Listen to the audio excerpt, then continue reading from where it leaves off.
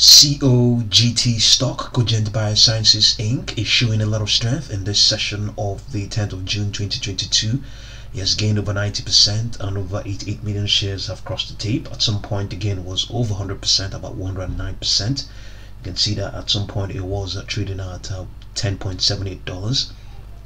So I think uh, the news is that uh, the company um, said that reported positive positive initial data from its uh, mid-stage trial of bezuclastinib in patients with advanced uh, systemic uh, mastocyte, mastocytosis, a severe hematologic disorder.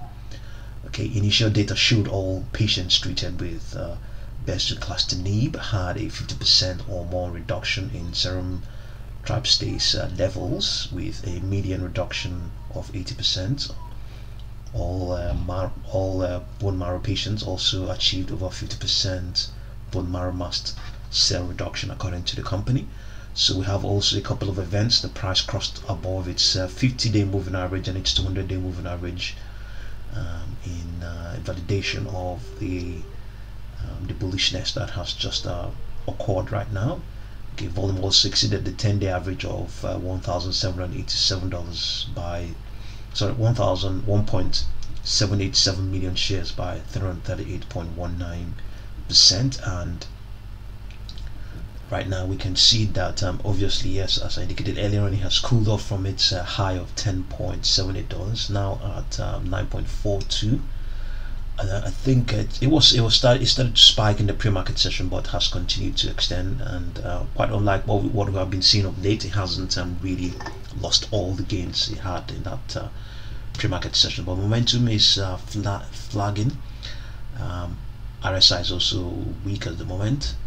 Uh, we, we can see we have a couple of supports here. The next uh, Fibonacci uh, support is at eight point four eight dollars next one is uh, 7.77 but just in case it uh, if it's going to rally we have the resistance obviously is at um, 10.78 and we have calculated ours as okay just uh, exactly the same thing. Our calculation is absolutely spot on with that uh, almost almost spot on yes. Ours is 10 10.75 and uh, this uh, uh, the one on the on the on this on this on this chart is at 10.78 so um, the resistance at 10.78 or target but I get a couple of supports for the stock. It's also optionable. Uh, let's see what's going on there. Obviously volatility has uh, since spiked you know for the stock. Let's see what's been gaining.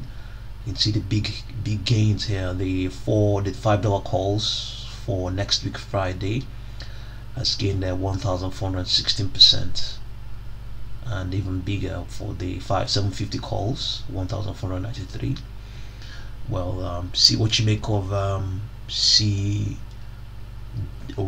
stock and uh, just uh, know what you're doing if you want to get involved and um, I'll continue to update you. Thank you very much for watching this video